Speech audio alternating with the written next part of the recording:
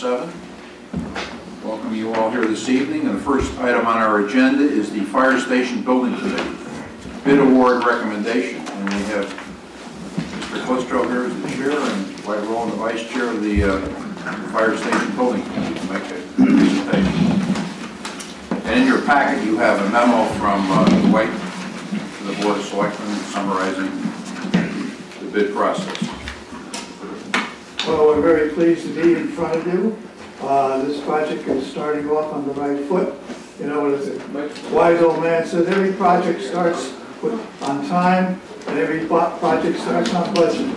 Well, we're happy to say that at this point in time, we are doing very well. Uh, The Four bids, which we will present you, request your permission for, show a quarter of a million dollars under estimate. So we're very happy about that.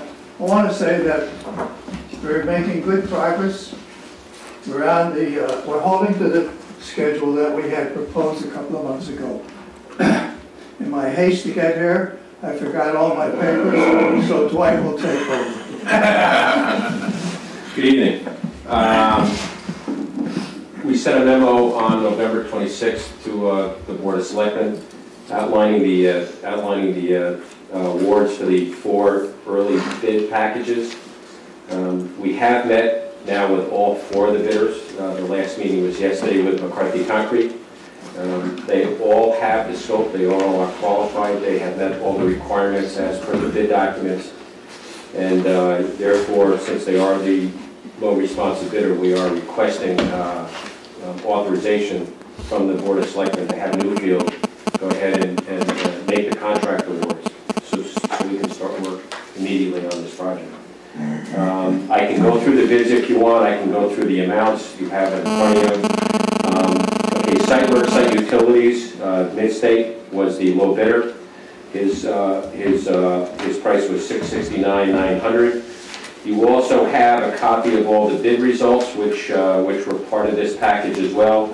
We did get eight, okay, responsive bids on this, and they range up to over a million dollars, but in a meeting with Midstate, uh, he did, he does have all the scope, um, and he is qualified.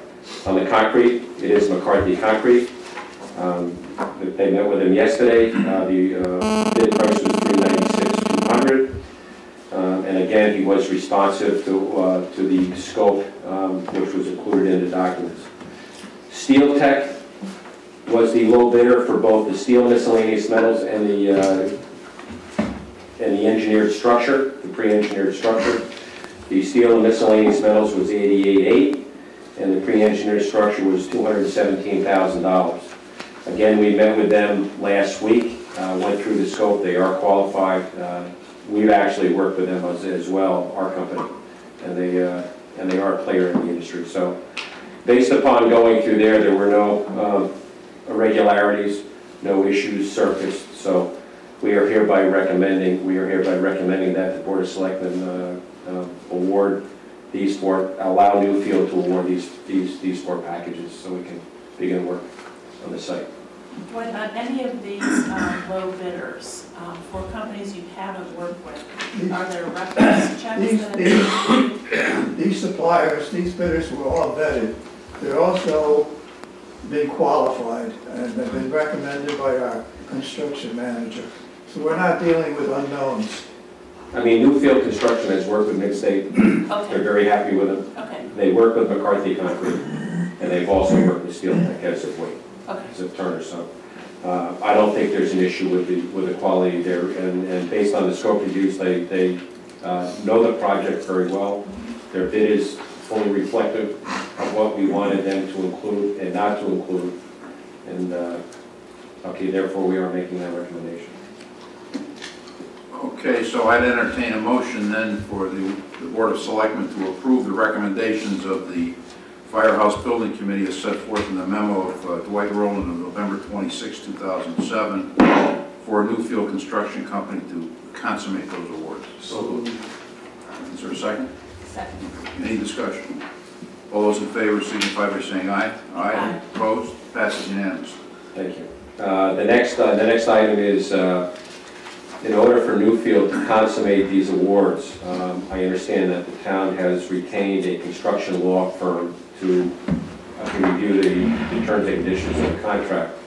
In the meantime, is there a possibility that we can issue a letter of intent, uh, the town, to- or to to Newfield, to authorize them to make these awards and at any and all costs that which are borne as a result would be paid in case something happened down the line and we couldn't reach At the request of uh, Jim Perito, our town counsel, uh, we've retained Updike Kelly and Spellacy, who uh, specializes in construction law, uh, to review the uh, agreement, the proposed agreement with the Newfield. And Jim, do you want to address where that's? Certainly, um, I spoke to the attorney at that firm today who had some preliminary comments, um, primarily directed to have the contract be uh, tailored a little bit more to be dealing with the fact that it's a it's a municipality as opposed to private to private, which is typically how those contracts are set up. Right. Um, He was going to have some preliminary comments, I said, I would prefer frankly to have it all at once, and he's gonna get that to me by Friday. Okay, He also was gonna contact a gentleman he knew at Newfield, okay. since they had actually worked on the contracts. Well, and Dave, decided Dave is probably president. And he was going to Probably, contact them okay. and indicate that he was on it, and that he expected to have the comments um, out by Friday, so that Okay. we'd be able to move forward. Now, I don't know if they're gonna still need a letter of intent based upon I can check with Damien, I conversations. can check with Damien on that.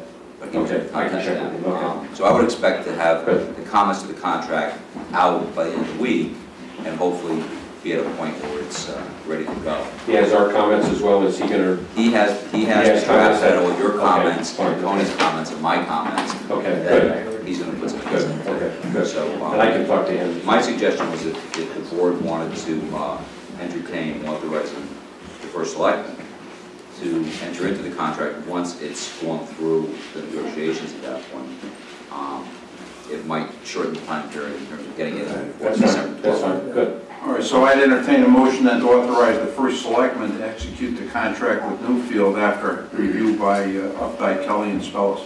So moved. For a second? Any discussion? All those in favor signify by saying aye. Aye. Opposed? Passes unanimously. The next item is a groundbreaking ceremony, which is a ceremonial thing that uh, goes with any project. And uh, um, our committee uh, met last week, and we we would like to perhaps hold it uh, a week from this Saturday on December 8th, maybe mid-morning. Um, You know, that's just something that uh, we'd like to, we'd like to bring up to the Board of Selectmen. And again, the Board of Finance would be invited, and officials, or, and also the newspapers, and whatever. TV, it's a Saturday. And, and that way, not only would all of us be able, but also the firemen, you know, who work or whatever, they would also be able to be in in attendance as their building. So I'd like to, if that's, if that looks like it's okay, if you want us to set something up, then we'll, we'll advise you. Is that the consensus of the board that we go ahead with the groundbreaking on Saturday, December 8th? Okay. Good, So we'll leave that in your good hands then to arrange that? and we'll let you know. All right, we'll, we'll set it up, and we'll let everybody know. Great. bring a chainsaw? Bring your shovel. Well, we will do a little, we will do a little clearing because it's gonna have to be cleared where like the ceremony will be. We'll have them do a little clearing in front. And then, you know, hopefully the weather will be great. We won't need a tent, but if so, you know, we can put up, pop a few tents. And we'll have shovels, we'll have the ceremonial shovels and all that. We'll take a lot of photos, so. As part of the setup, would you contact the press so they can put some articles? We Oh, will, yeah. yeah. Yeah, We'll contact, I mean, we'll contact the Register, uh, Amity Observer, Lori talked to, uh, you know, them as well. The bulletin. Terry Miles. Terry Miles. Marilyn, Marilyn Moss we contacted, so we're, we'll hit the, and also, also maybe some of the news, and Channel News 12, Channel News 8, maybe if they want to come out and just do a brief thing, that'd be, it's a big thing for, for, for the town, so. CNN. CNN Hey, never know. or or Fox News, depending on your persuasion. And then the last thing, uh, the last thing we have is, uh, we have a proposal from our architect to retain an independent IT consultant for the, okay, firehouse. It it is outside the scope of their work. Normally, what happens is the, uh, the town as, you know, would would retain their own data consultant, their own telephone company to do the telephone, their own security company would do that. And uh, after, after months of going back and forth on how this was going to work, it was actually uh, Antonazzi, Paul Antonazzi on the committee, who was an architect, recommended, you know, we're we're going in all different directions. So what we decided as a committee was to ask the architect to give us a quote, Cedar Payne, an IT consultant, um, who would actually pull together all this, would, would design it, would do the drawings, would help us fit it, and would also manage it in the field with the architect, watching. And this would be for the data, phone, security cable, radio communication systems. He would take care of all that. And that, that uh, entity is Axiom, is it? Axiom, right, it's the Axiom group, and as a matter of fact, that was, that was a group that uh, Antonazzi's used on numerous occasions. Um, So is our architect, Silver, you know, you know, so, uh, and uh, I have talked to Paul, and uh, they are, you know, they are, they are a qualified group.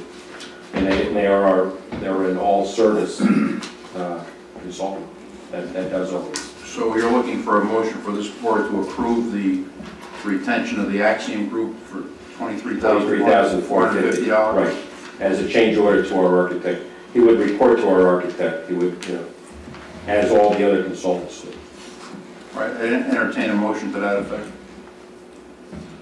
Is that a biddable process? It's really, I mean, there aren't too many consultants out there like, you know, and, and it's really more of a specialized service, and uh, there are not too many consultants out there that do as much as he does. There are consultants out there that, that will only do phone and data.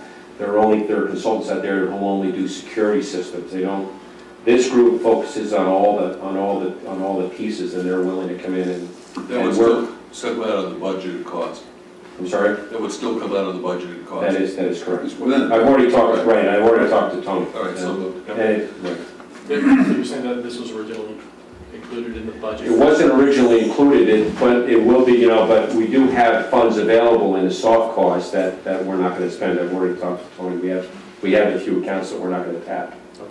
all the way. There is money available within the budget. the architect customarily doesn't do this work, is that? That is, that is correct. This is more of a specialty line, you know, and they actually do all the data systems, the telephone and everything else. Tony, do you know how much is in that budget, the soft cost? There are, um, the soft costs, there's several lines in there.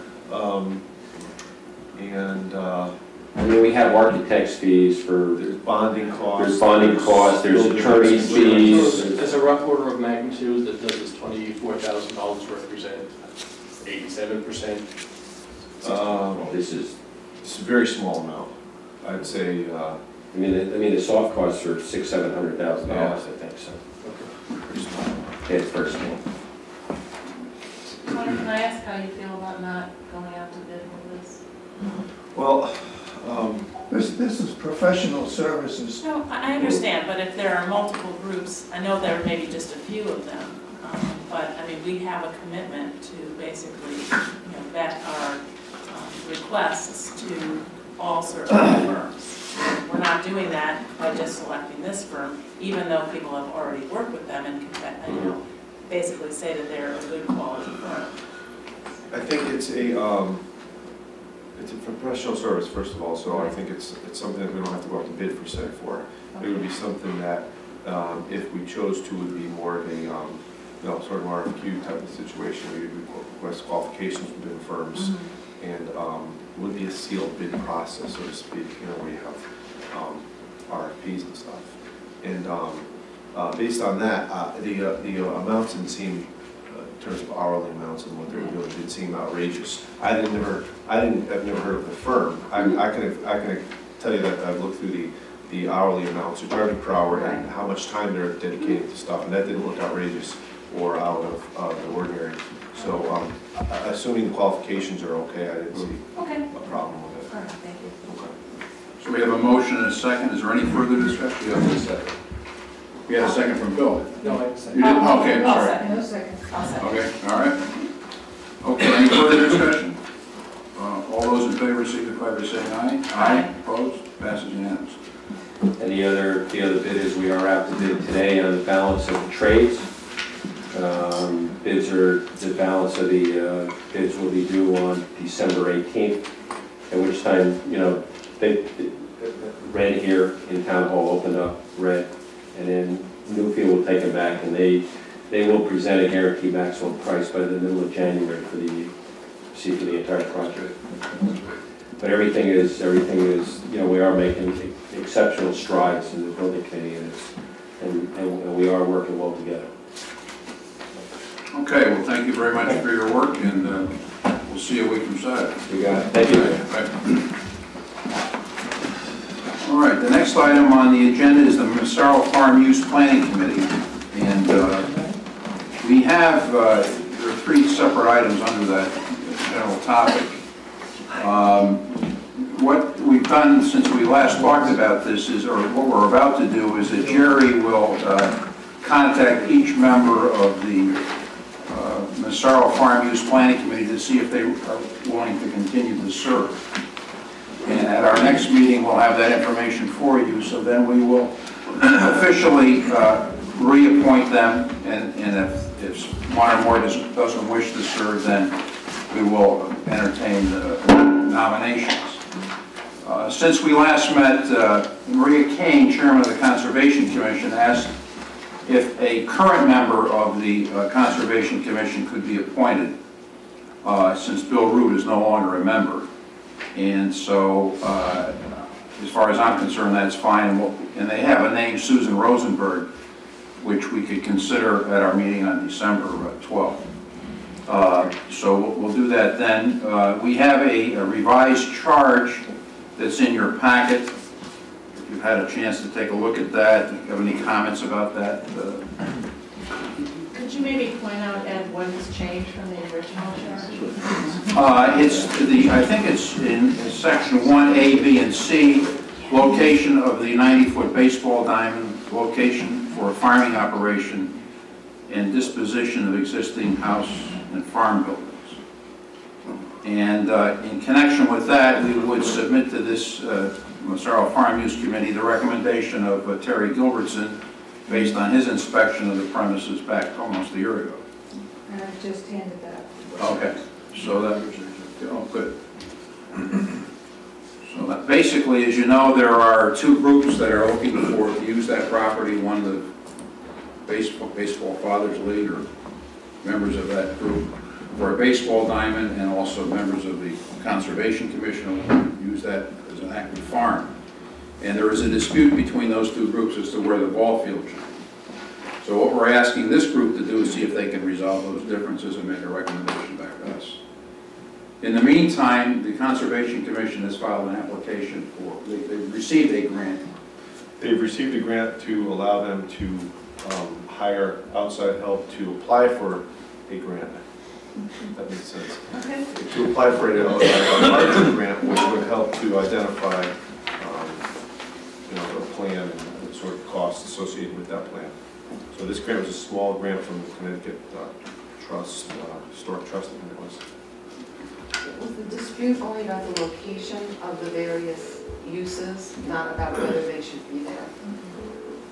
I, I think it's about the location. Okay. I think they agreed that uh, multiple uses are, could be done on that property, uh, and, but there was a dispute uh, as to the location of the ball field vis-à-vis the farm, and vice versa. And uh, Steve Traudello was here, who was the chairman of that committee, and I guess still is the chairman. You want to say anything about that, Steve? Yeah, I, I hadn't, uh, I hadn't gotten a real clear picture from conservation concerning, uh, concerning the intentions or, or the, or the, uh, uh, desires of conservation. I mean, they wanted to, uh, see if there could be an active farm on the property. The, the real question was that there's essentially three already cleared kind of fertile fields. They're all relatively good size. Um, as you're looking at the property, there's one where the ball field was recommended to be placed by the commission to the right of the property, and then there's, uh, to the left of the barn, I think some of them are coming down, is another field, and then over a hedgerow, there's another large field that's all been cultivated, so there's three separate fields. Um, The question really was, the Conservation Commission, I think, was uh, trying to determine whether or not a functioning farm and what they envisioned could uh, be placed there without taking control of all three of these previously tilled areas. Um, And uh, that, I think, is where the discussion lies, uh, because uh, there is 50-something acres there. Obviously, there's other areas of the property that are available for other uses, Uh, The question then becomes cost. Mean, wh- What does it cost uh, to, um, you know, to clear a property to use for either use, either farming or baseball? Uh, The the spot that our commission appointed to is flat and pretty much can, can take the field with, with a relatively small amount of uh, development cost. Um, The area that I think conservation thinks the ball field should go to is a former um, apple orchard area. It's not quite as level, still has trees on it, which would have to be uh, taken out in stumps. And, you know, the, the the issue really comes down to, as far as grading and costs, uh, it's a lot easier to farm on a grade than it is to play baseball on a grade, I mean, obviously. So, um, that is, I think, the area that has to be worked out. Uh, uh, Minimum farm size to make a going concern of the farm enterprise that they thought they could bring in here, whether it was 10 acres or 15 acres or so, because we do have a sizable amount of acres already cleared. And then, once, once they've established what their minimum farm size would be, uh, how much of, uh, of the farm would that leave for the ball field? And then how could we make more, more field size available? So That, that's really the issue that we still have unresolved. Not coming out of our commission, our committee. That issue was raised by conservation separately at the public hearing when we gave our report. There was no dispute about where the thing should go with regard to what comes out of our committee. Okay? We were unanimous on how we thought the farm should be allocated to uses, and we gave, a- in our report, we had those uses outlined. But the discussion came from public comment. So just want to make that clear. It Wasn't the commission that had the, the difference of opinion. Our commission was unanimous on use. And the other thing we should keep in mind, we have no money in the budget for either one of these projects, so that's, that's another item to be addressed down the road. Unfortunately, the benefactors passed away since we were all last year discussing this, so it kind of heightens the necessity of dealing with, you know, the, the buildings especially. I'm I'm sure the town's taken some steps, I haven't been up there, but We have, yeah. what we discussed the last time about being an imminent possibility now is, is an actuality. So We now own the property and, and as landowners have those, those issues too, so. uh, I'm sure our committee is, everybody would like to continue knowing that the energy that was generated beginning, but I'll let them all speak for themselves. I already talked to Jerry today about it. I'm back on board, so Good. Well, I'm thank you. happy to help you and, and and see this through to the end. Thank you very much, okay. All right, any other discussion about this? If not, then we'll move on to uh, number four, records retention update. Okay. Stephanie Carolito, our town clerk, is here, and she has submitted a memo for our packet. And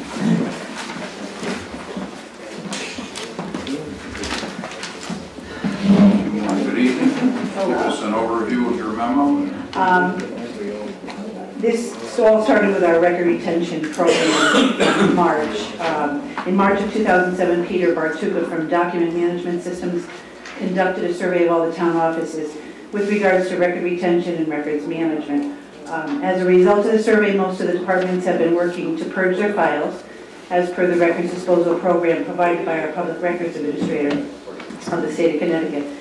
Um, Due to space constraints, we're also looking for new types of space saver filing systems. And we found some very good systems that seem to meet our needs for all the departments. Uh, Ron Keith from DuPont Systems, this is a very select few, of the systems that, that he provides. Um, They measured all of the offices for the shelving systems. He's met with Peter Bartuka, our first selectman, um, our finance director, all the department heads, and um, me. And he's also sent the proposals of the layout and the pricing for each department at a cost of approximately fifty-six to sixty thousand dollars for the entire project.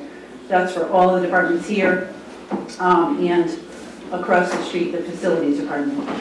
Anybody that's been in need, we have them go through the whole, the whole town hall. Um, There are plans for the finance department to have a company come to the town hall in January or February to shred some of our sensitive documents for all the offices. They're going to allow all the offices to do that. Uh, Finance is going to send out a notice when they schedule the project, and if any of the department plans on using the service, they can notify the finance department with the approximate volume of documents that need shredding, and we'll get that done. Um, If you. And all the documents that have been shredded have been approved by the state. Right. Well, each department has been doing, um, you know, I have a list of all the departments, if you want me to go through it. No, that's, that's, Oh, okay. Uh, You know, they've all, most all the departments have been working on um, the systems, going through their, their files, purging, writing the paperwork to send to the public records administrator. A finance office already has theirs back. Um, We have ours back in the town clerk's office. We're still waiting for some of the departments. And um, hopefully, you know, we, the departments really have done quite a bit. A lot of, lot of and we're out of space completely in a lot of those offices, so it's helped quite a bit. And these um, systems that DuPont provides give us a tremendous amount of space in what we have, you know, in our, in our confines. So hopefully that'll help us out too.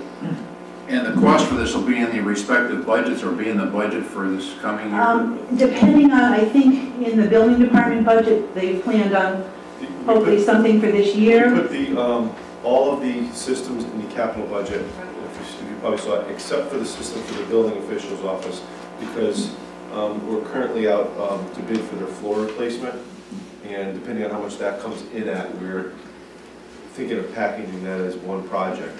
And so we're not sure where that budget is and, or what we'll need, because we have some funds already existing for that project. So we want to see where the bids come in, what the total budget is, then review it at that time. Yeah. And the registrar of voters have already been approved. There's, their Right. filing systems are already ordered. My filing system's already ordered because we do one a year. um, With, you know, with our land records and our vital statistics, now we've ordered a vital statistics cabinet for this year, so. um, And the rest of the departments, we're working on purging the files. You know, we're, our office is trying to help the other offices if they need it. We're gonna help out the Board of Selectmen's office a little bit and in uh, Public Works Facilities Department when we're through with that. In the building department? Well, the building, yeah, we've offered. So, All right, well, we're working at it, we're, everyone's working hard and cooperatively, and uh, thank you for your efforts, and Jerry, of course. And Betsy. working very hard, thank you very Yeah. much. Okay, Okay. any questions? All right. All right, next on our agenda is the truck purchase, and Mr. Genovese and Mr. Connors. We have material in the packet that uh, prepared by Warren Connors. So, Correct. If you want to just summarize that, Warren? Yeah, um, what we did is we researched through the state bid process and independently got quotations from vendors for the cabin chassis and the components associated with it. And uh, the uh, package that was in the proposal by us uh, was using the state-awarded uh, cabin chassis, uh, found to be higher, so so we wound up going with an independent vendor because it's got all the specifications of the truck with a lower price. And the state bid contractor for the components, actually, we, we've used them previously on our last truck purchase, and there was a couple things that the mechanic brought to my attention that, um, this truck may be built out of state, which limits our control over the installation process of the components. And the previous truck had some issues, uh, and he's having difficulties with service from the company. So our selection was to go with WH Rose, which was the, the alternate uh, vendor. Their prices on components were slightly higher, but we felt that the, the components that they offered provide slightly uh, greater advantages um, to the mechanics and the longevity of the product, so, so that's why we selected them. We've also indicated what the total purchase price of the truck would be using those uh, prices. And actually, by the state bid purchases, um, we did do better, you know, on the truck purchase itself, so. So basically, what you're looking to do here is to purchase a uh, It would be- truck, a Sterling truck from Interstate Ford, Correct, which is not on the state bid, but is lower than the state bid, is that right? correct. And then for, to fit out the truck with, uh, with plowing equipment, you, uh, want to purchase it from Park City Equipment, No, which, WH uh, Rose. WH Rose rather, which also is not on the state bid, but is more expensive than the States? Slightly more expensive. Would you but recommend that for what reason? Because of the service issues and the past history with Park. So that's it in a nutshell. The, the short summary, yes. Right, okay. So I would entertain a motion to that effect, and then we can discuss it if you want. So, Is there a second? Okay, any discussion? If not, all those, no, well, I I guess the difference in prices is small at the end of the day, is about, it's about four thousand dollars. Right. Between the outfitting by Park City versus WH Rose. Correct. And in my opinion, it's not worth the aggravation. If we can't get it serviced and it has to go out of state and they're balking at it, we don't have a good experience already with Park City, I would prefer for the four thousand dollars to get a more stable situation. in That's what the mechanic felt, that the, the service issues were one thing, but the monitoring of the control, we- we've had smaller vehicles where we've had, um, um, let's say, building issues, monitoring issues, and then the service issues where you had to travel uh, to New York, basically, to, to see the truck, have it serviced. You have limited control access, um, and the frequency of going down, if there is an issue, even after the fact, once, once we retain the truck. Um, WH Rose has, has been servicing the town on previous purchases. They call upon us, we pick up the phone, they're responsive. Uh, I, I agree that that, you know, the, the small difference in cost outweighs the, the other things that could hurt the town ultimately. okay, any further discussion? All right, all those in favor signify by saying aye. Aye. Opposed? Passes unanimously. Thank you, Warren. When can we expect delivery of this? uh, Yeah, right now, it's, it's, um, based on the availability, usually a hundred and twenty day turnaround is not, it's pretty typical. There may be some glitches in there that, you know, are unforeseen, but that's typical for delivery of a product like this. Great, thank you. All right, next item on our agenda is uh, Woodbridge Board of Education, and we welcome Dr. Stella back from China, Shandong Province. And environment. down. Got that down, all right. I've gotten over the jet lag, jet lag. I hit the ground running when I got back, and I've been, uh, uh, as I promised, uh, I'm reporting back to all constituents in, in Woodbridge. I reported to staff, the Board of Education. Um, we try to put some things on TV. Uh, I will be reporting to every grade level of students next week, and I thank you for the opportunity to report back to the Board of Selectmen on the trip. Um, the trip was not about me, it was about taking a concrete step in developing the 21st century model of education. Uh, and, uh, and it was about connecting Beecher Road School to the outside world, and in this case with China. It's about building a bridge, and it's a two-way bridge. And to set the, set the stage for my trip, uh, presentation of my trip to China, I'd like to go to an, uh, occurrence that occurred one week before my trip on October 25th. And uh, Mr. Sheehy was at our school. We had a delegation of 23 educators from China who, who came to us. Uh, Beecher Road School was selected by the state of Connecticut as a model school that has the best in American education, that could serve as a first educational experience for those 23 hand-picked uh, Chinese educators. So let me show you this short video if I may. Uh, I apologize, um, the wall's the only place I know where to show it. Uh, So that's our screen here. Oh, that's our screen. Staff Road School in Woodbridge were recently visited by a delegation of 23 master teachers from Shandong Province in the People's Republic of China. With very short notice, the entire Beecher Road School community pulled together to provide a warm welcome.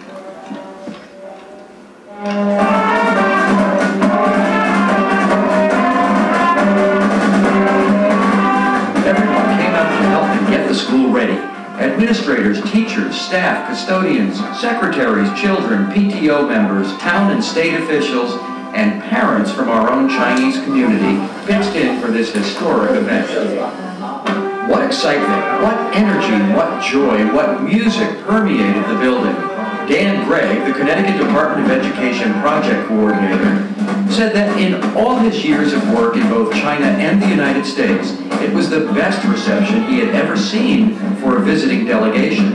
Upon arriving at the elementary school, band students, and the color guard welcomed the guests and gave them a drum corps escort to the assembly hall, where formal greetings were extended by Woodbridge School District officials, as well as by town and state elected officials. I understand that Shandong Province is a...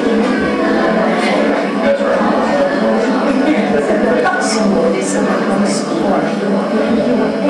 The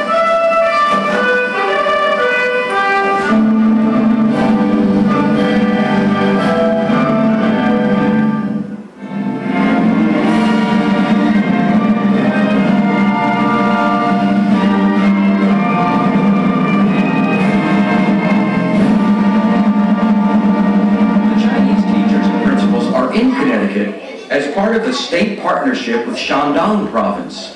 For more than 20 years, cooperation between Connecticut and Shandong for the exchange of ideas for economic and educational gain has been in place.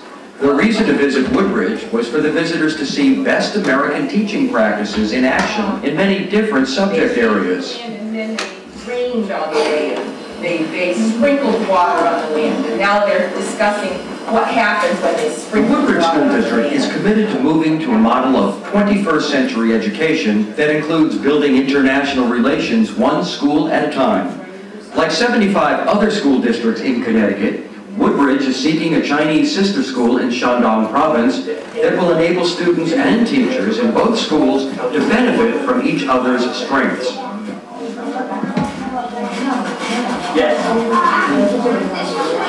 An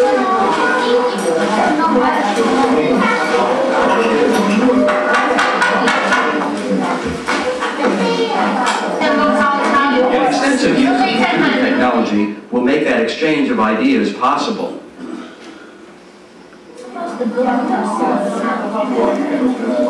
There's consensus among futurists that several attributes will be necessary in the workplace that today's students will find themselves. Among them is literacy in global issues, sensitivity to world culture, ability to communicate in different languages, a high level of proficiency in technology to facilitate communication, and behaving ethically defined by culture.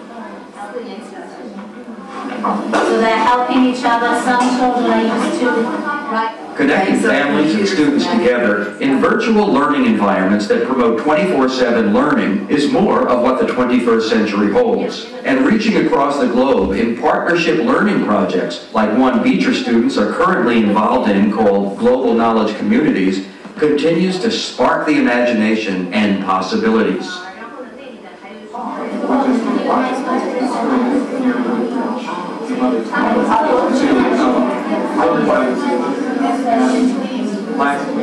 After traveling to China to meet with education officials, Woodbridge, a school superintendent, Dr. Gaetan Stella, is in the process of establishing a formal partnership with a Chinese sister school. Meanwhile, thanks to virtual technology, sixth grade students at Beecher Road School are in the midst of a collaborative problem-based project with students from Hong Kong. Dr. Stella, energized by the school's staff and students, states, "We are on a journey with a clear map. Like any journey, however, we can expect the unexpected. That's the real world, and that's what we're teaching our children."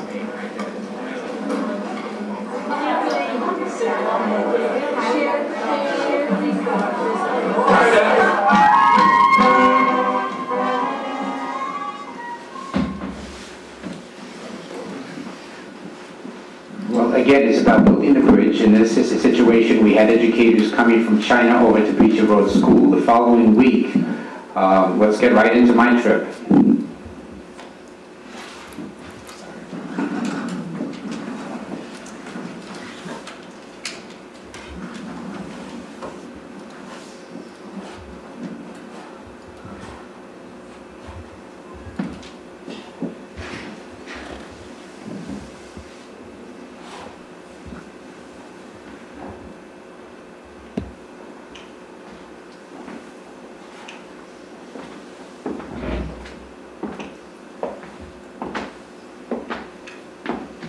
Okay, uh, I was invited to join a delegation of approximately 17 educators, many of them superintendents from Connecticut, um, a cohort of uh, a trip sponsored uh, under the sponsorship of the State Education Department that has been involved in this type of, uh, of interchange for the past 20 years.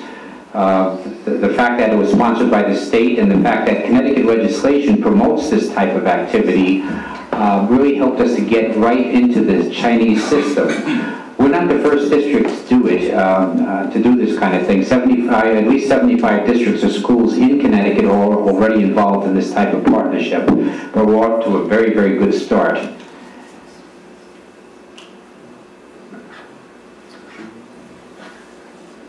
Now, if you look, by the way, you see those, those that Chinese uh, writing there? Uh, I did it, but that's with the help of the Apple compu- computers that, uh, that the Board of Selectmen, Board of Finance uh, helped us to get. Uh, We're able to translate into at least one dozen different languages. So our computers are multilingual? Absolutely, so they do better than I do. Um, The trip was from November 2nd to the 12th, and they were, they were full days. We really got to work out there. Uh, My main purpose in going uh, was to uh, really take a step in establishing a close relationship uh, with a Chinese sister school that will benefit the the children of Beecher Road School. And if you look at the picture, it's not all my luggage. So, um, the trip was intended to, to introduce um, educators to, let me just see, I think we have to go back one. No, this is good. It was, in- uh, was in- to introduce educators to Chinese culture, language, and the educational system. It meant a lot of traveling, traveling by plane, uh, by bus, by car, by high-speed train, and on foot. Uh, We landed in Beijing, population of, of of over 14 million, a cosmopolitan city, uh, construction happening in every, every which way. Uh, We we traveled um, six hours by, by bus uh, to Jinan, the city of Jinan, which is in the middle of the Shandong province. And then from there, I was picked up by car to be taken to the southwest corner of the province. That was our little bus that took us to Jinan.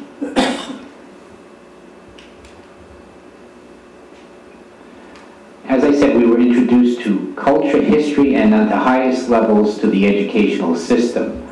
In Beijing, we had a chance to travel outside the city to see the Great Wall. I'm happy to report that I've walked two miles of the 3,500 mile wall. And um, the, uh, we also saw historical sites such as the Summer Palace and the tomb of Mao Zedong. Uh, that marks uh, his death in 1976, marked the transformation of China uh, in, in the introduction into the modern world. And are they moving fast? The picture on the right is just an indication of the uh, increased traffic in, in, in Beijing. And that 10 years, 15 years ago, you would have saw thousands of bicycles. Um, not, now there are traffic jams and so on.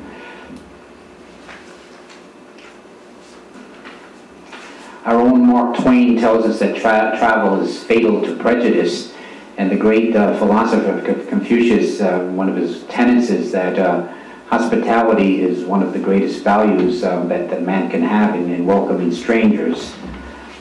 And um, the hospitality that I and the other educators received in, in China was absolutely second to none.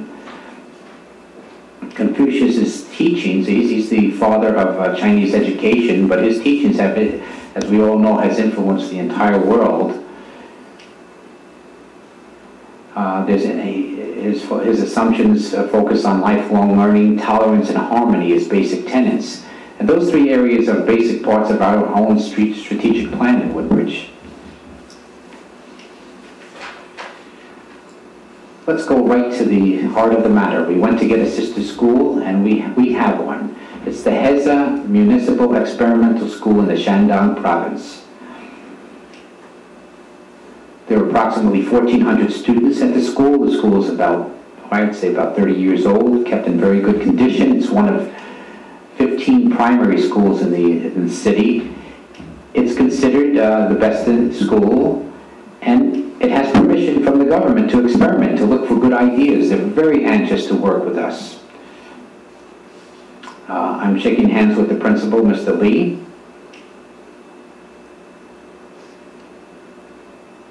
As part of the trip, uh, we had formal introductions and conversations. There was a whole protocol. We started on the national level. We went to the provincial level. And By the way, the Shandong province has over 93 million people. Uh, and here we are at the school level. That's the school, uh, that's the, the, the school, uh, one of the school rooms there where we, we met formally with the principal and with the administrative staff. I was eager to get into the classrooms as quickly as possible. Uh, classroom size, uh, don't take notes on this here because there's, there's an asterisk that goes with it and I'll explain later. But the classroom size goes from um, 40 to 50 in some classes to 70 in others. Uh, children have uniforms. Um, there is a uh, peer relationship. Uh, teachers uh, visit each other's class on a frequent basis. Uh, what I've noticed is a pattern, though, in going to the classes, talking to people and so on, going to the past classes, is that there's a pattern of passion as far as children wanting to learn, teachers teaching, uh, parents um, uh, involved very, very much, and a question of survival, that education is the access code to the Chinese children for, for a happy life and, and for, uh, for mobility in Chinese society. Um, plus, uh, since the time of Confucius, thousands of years ago, there's always been a, a heavy emphasis on the value of education. But there's a sense of urgency also that's involved. Sitting next to me on, on my right in the picture is uh, a translator who was assigned to me, a young lady from the university who was with me uh, every hour of the day.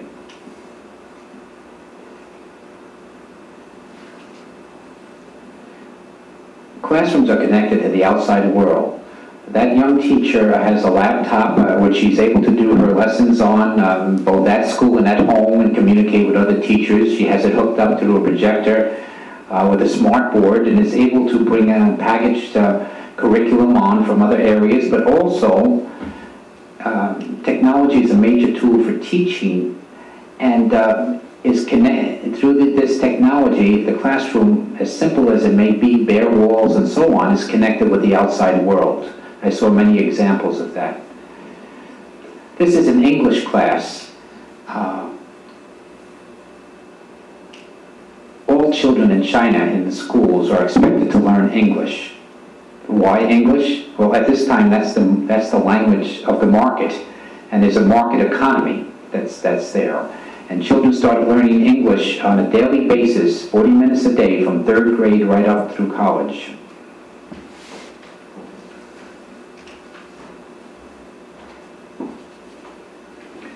Now, Mao died in 1976. Since his death, China has gone from, I describe it as mysterious isolation, to being a world player.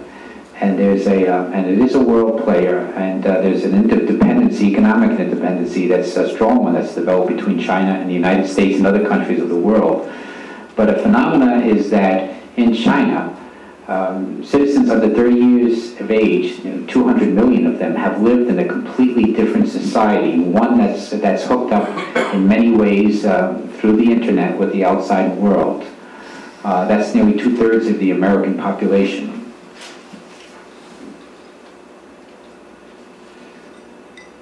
What's, what's a typical day like in a Chinese school? Well, class starts at 8 o'clock, but everyone, teachers and students start preparing at 7.30, and that means cleaning the room. Um, and the way it was described to me is that's part of the character education to help children to take a responsibility for their, for their environment. At 8 o'clock, um, there's practice in, uh, in reading. It's like sustained silent reading in, in Chinese and or English. There are three major academic subjects during the day. Um, and there are periods going from first grade up to sixth grade, 40-minute uh, periods. At 8.40, there's Chinese language arts. Uh, at 9.30, the whole school on a daily basis assembles outside in the courtyard, and there's whole group exercise conducted by, uh, by student monitors. Chinese music, stimulating Chinese music is played in the background and it's amazing to see uh, uh, the routine, um, the regimentation that's there, that's involved with that.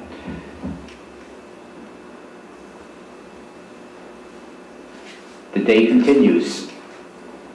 9.40 every day there's English class, and again the internet is used. There's a lot of interchange within the classroom.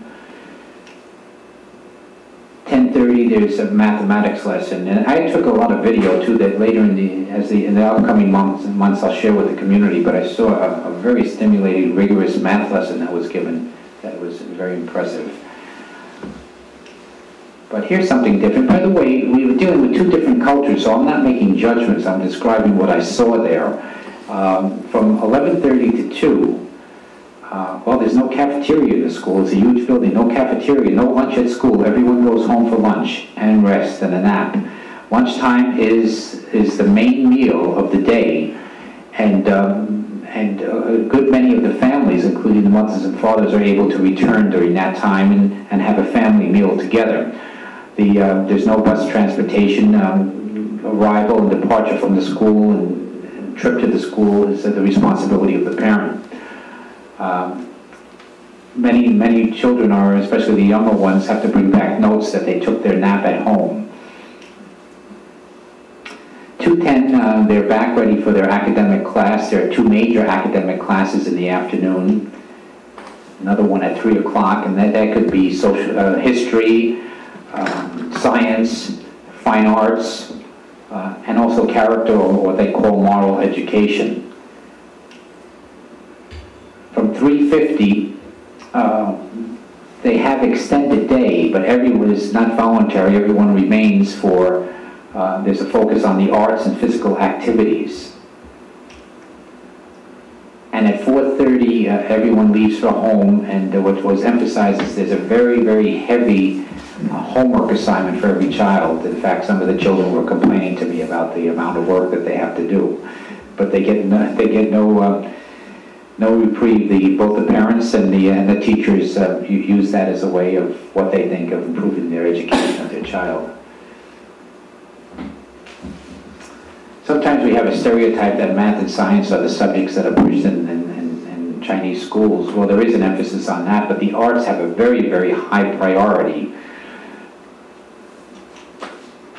Uh, choral singing, and again, that, that group was so good that they didn't dress just for me or perform just for me. Uh, this is this is what, would go on whether I was there or not.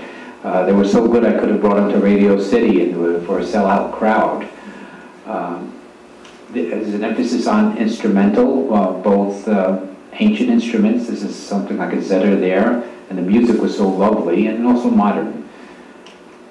There's a heavy emphasis on art. That's artwork from early childhood children, first and second grade. And dance is important as well. Can you guess what kind of dancing is going on? You're right, Mr. Sheehy, Latin American dancing. That's, uh, uh, again, there's a global look, and look how serious they are, and, and, and again, every, there's such a poise and a seriousness about everything that's done.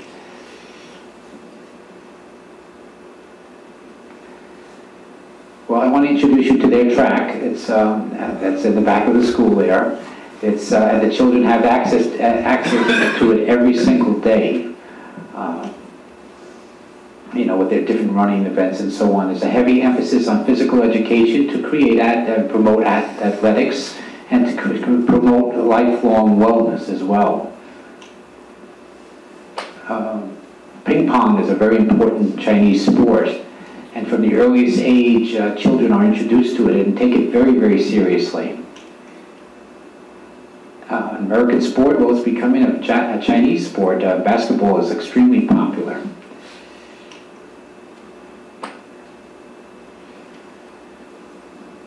Uh, as I said, uh, the, the arts are the soul of the school in a way, um, and through the arts, literature comes alive. Here we have children who are dramatizing uh, works of literature, both in Chinese and English.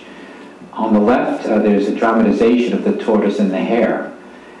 And on the right, there's a dramatization of a historical uh, piece of literature from one of the uh, historical times of one of the emperors, one of the dynasties.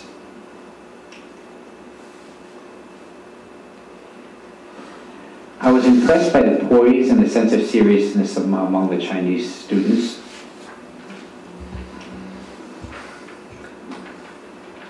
I'd met with the students, the previous picture was this, I met with the students, and at first they were very, very quiet and so on, but after talking with them a little while, smiling at them and so on, I invited them to ask any questions they wanted about American children and children at Beecher Road School. And then all of a sudden, a whole list of questions came forward. And those questions, analyzing them, were the same types of questions that the Beecher Road children uh, gave to me to find the answers to with the Chinese students. So very similar interest. Here I am meeting with the, with the teachers. Uh, teachers in, in, in Chinese society are revered. Um, they're held in very, very high esteem as other principals. Now, I mentioned before that they're very large class sizes, but this teacher to student ratio is about the same because teachers teach no more than three periods a day. Uh, planning and collaborative meetings are considered extremely important. Uh, so they, uh, they have the rest of the day to plan and collaborate together.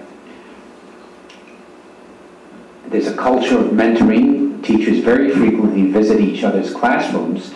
And after watching the class and so on, classroom teachers very frequently, as they did with me, will ask, do you have any, any suggestions as far as how we can improve? That was a question that was constantly posed to me by both the administration and the teachers. Can you give us any suggestions on how we can improve? And teachers have their own offices.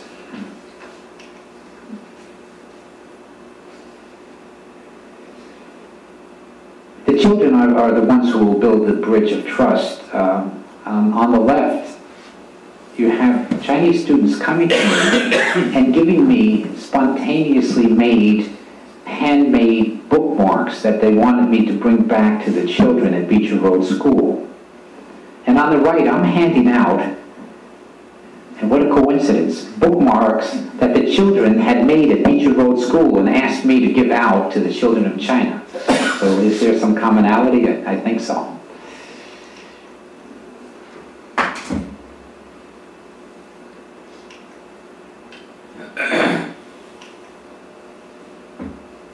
It's the dream of one world. The dream of one world one school at a time. So we're on that path.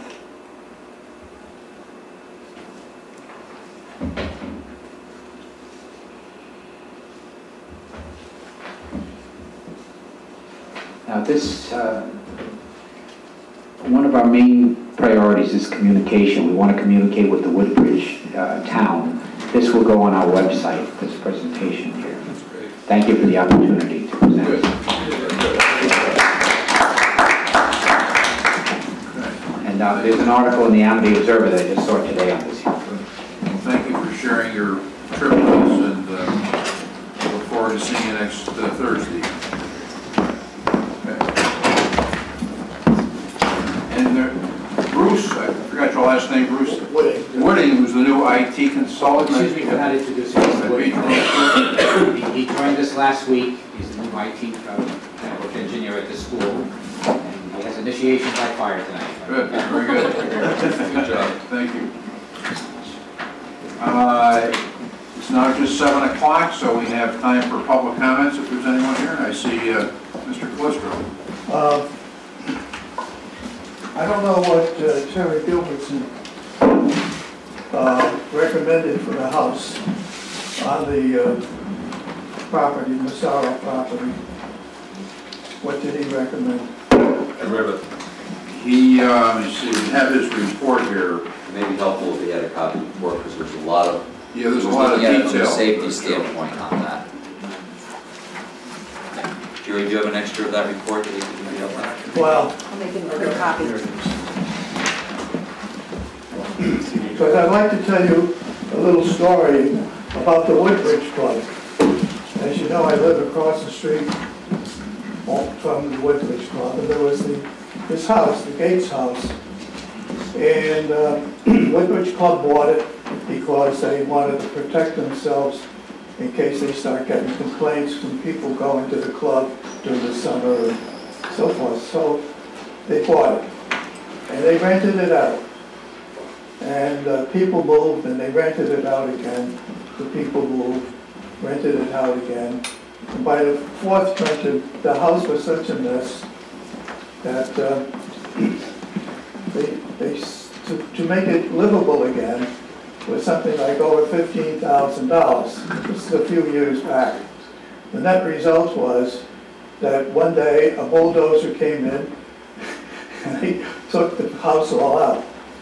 What I'm getting at is if there is any thoughts about renting and renovating the Massaro house, you're kidding yourself. In the first place, the town should not be in the business of renting property. In the second place is a one-family house to rent is nothing but a big headache. By the way, I just want to tell you one little story. Uh, I was on a project in Taiwan, and I was on the fifth floor of the Futai Engineering. And I'm looking out there, and I look at my watch, and it's like quarter to five. So I said to the, uh, my Chinese counterpart, I says, what's, what's this down there? He says, well, that's a high school. And I says, but it's almost five o'clock. Oh, yes, he says, they go from eight o'clock to five o'clock. I said, wow, they go then? And then he said to me, well, they only go a half a day on Saturday. All right, thank you. The one thought I always had on that is, I thought to myself, how the hell are we going to keep up with this thing here when we have such short days? And, and I said, no wonder, it's just a matter of time when they're going to whip the hell out of us. There. Okay, Thank you. thank you. All right, the next item on the agenda is the South Central Council of Governments. Uh, Mr. Genovese? Yeah. The South Central uh, Region Council of Governments is applying for a state grant that was, uh, state program, excuse me, which is for regional entities to collaborate um, for different projects. And uh, it's called the Regional Performance Incentive Program. And so they have two um, that they're applying for. And The reason why it's in front of this board is because there needs to be a resolution of endorsement by the legislative body of the town. By December 31st. Right. And that's part of the grant requirement, I, I, um, guess I'm part of there. So you'll see the two grants are um, outlined in the proposal. And um, the first is for a uh, regional solid waste disposal study to, um, and the way this is set up is as long as there's a majority of, of communities that approve it, then they'll go and do it. So, uh, the first is for a regional, um, solid waste disposal study to determine what next steps can be accomplished. Um, And, uh, most of the, uh, communities in the, uh, Scrog region are in the Vidcon project, of course, uh, we most of them, um, except for probably Orange and Woodbridge, which is the Bridgeport project. Ours is up at the end of '08, and, um, which doesn't give us much time, but, um, uh, and you can see there's a timeline here for this, for their study. And uh, it says that the recommendations implemented as contracts expire 2009 to 2012. Well, ours will already be expired by then, but I think it could hurt for us to at least um, contribute to, to the study and possibly get some early results out of it, of what they accomplished. Keep in mind, this is just authorizing Scribe to apply for That's the it grant. is. That's all it is. We- They may not even get the grant. Can we encourage them to speed it up if they? Uh, I have had that discussion, yeah. I've had that discussion, and- and uh, Judy indicated that she'll try to uh, see if there can be some early recommendations for our benefit um, in the- in this process. That's Judy Godden, Judy the Executive right. Director of Scribe. Right. Okay. So I entertain a motion to that effect. So moved. Is a second? Second. Any discussion? All those in favor signify by saying aye. Aye. Opposed? Passes unanimously. The first, the first um, program, uh, I didn't see any ongoing costs associated with that. It would simply be a study and um, come up with some recommendations. The second one is for a uh, regional website portal to be uh, developed for marketing, economic, and business purposes in the region. And um, they would be hiring a consultant to desi- design the portal and um, to, um, you know, incorporate the different municipalities to um, help to promote business development, that sort of thing. Again, there's a um, a timeline here for that also. And um, this one could have some ongoing costs to it, assuming the portal was successful.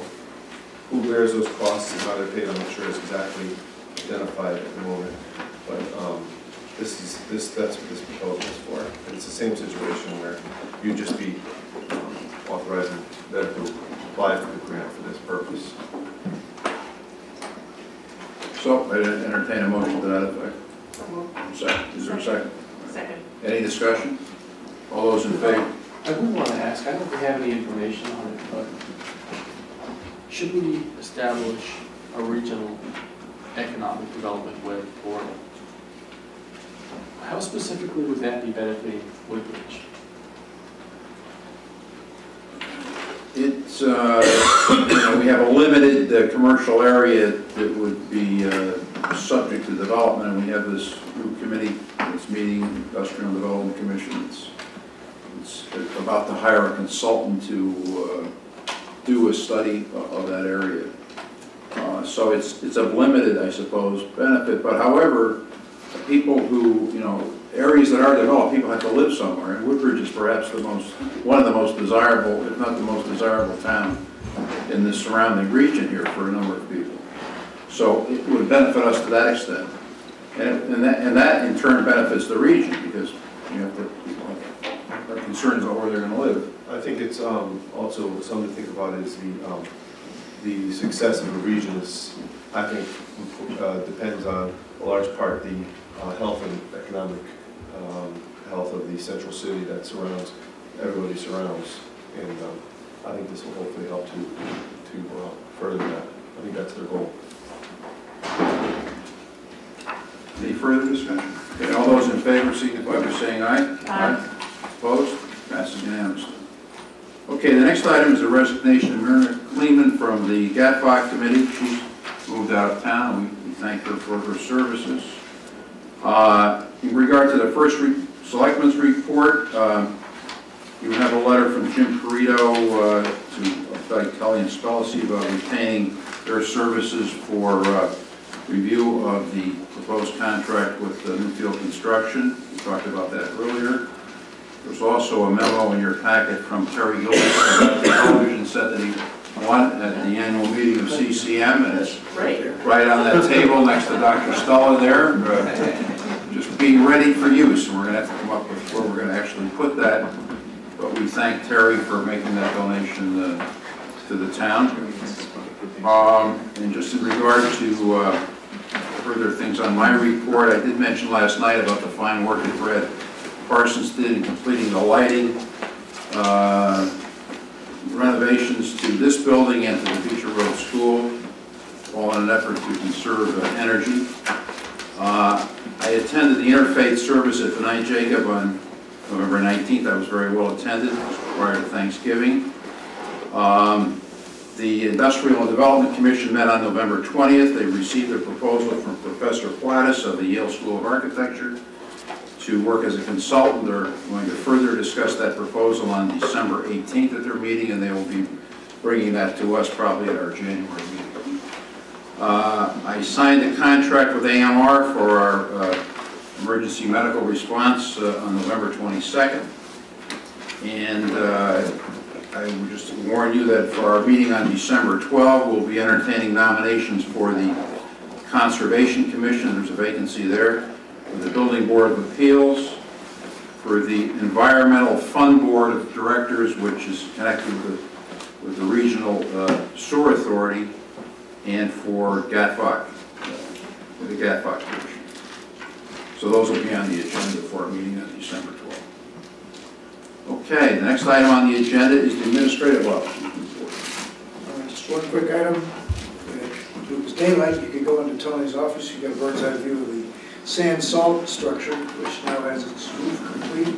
Uh, I- As an aside, the foreman is from Virginia or West Virginia, and not been home for Thanksgiving for 15 or 16 years. And when he got here about three or four weeks ago, making his housing arrangements and so forth, he said, I really want to get home for Thanksgiving this year, but I got to get it. So whatever motivates him, fine, but uh, we're making progress. Hope that the weather stays warm for a couple more weeks and possibly we get the asphalt down on the pad, which is the last forming coat. So, it's, it's almost running where it should be on time, so I'm very pleased with that. You can see it, you drive down the back where the public works facility is, you see it from there. Fortunately, you can't see very much from the road, which will please the rest of the. And that's it. All right, I just want to state for the record that Laura Hernandez is not here with us tonight because she's attending a her parent-teacher conference at Masuk High School in Monroe, where she is the vice principal. All right, liaison reports, Bill.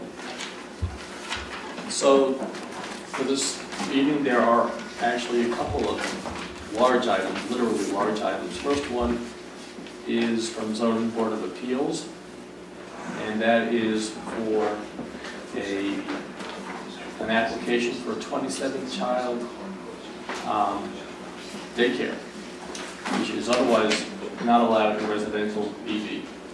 So that was presented to the ZBA at the last meeting. It is going to town council for further consideration and has been continued. Where, where is that? It is on 10 Robert Street. Robert Street's a short street that connects uh, Litchfield Turnpike to UCM.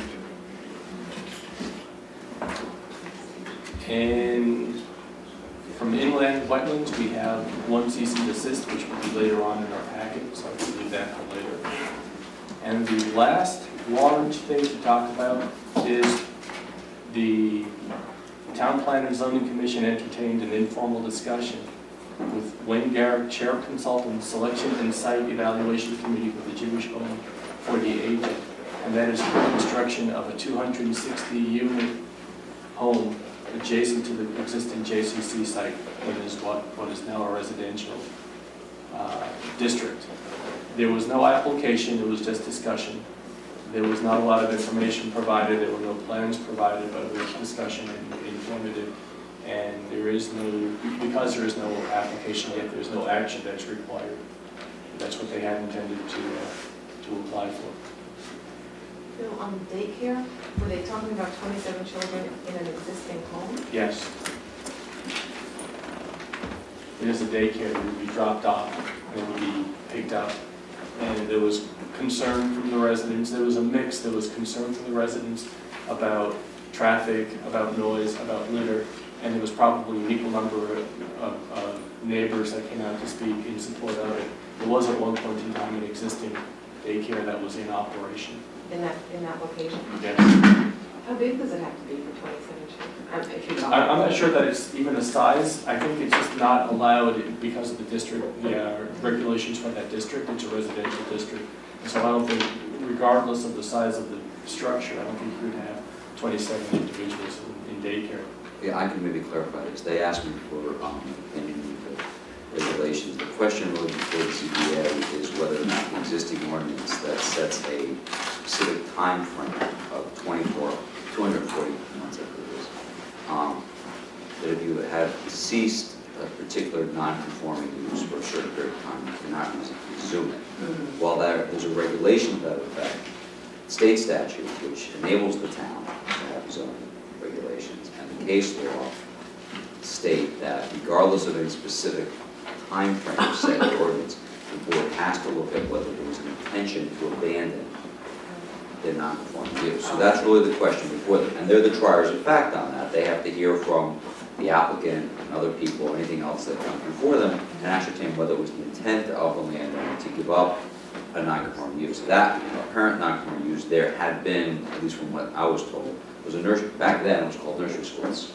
And then when the state started getting into licensing, anything beyond a home daycare, and got into the ones where a number of individuals over a certain number, like 27 probably comes under the state licensure. Um, The state licensed that, and the question is whether the zone permits it, and I think the applicant is arguing that it was existing nursery school, so there was never an intention to. But that's something that the can decide, and both sides will have the time to address that. So, That's where they are. Okay, Ellen?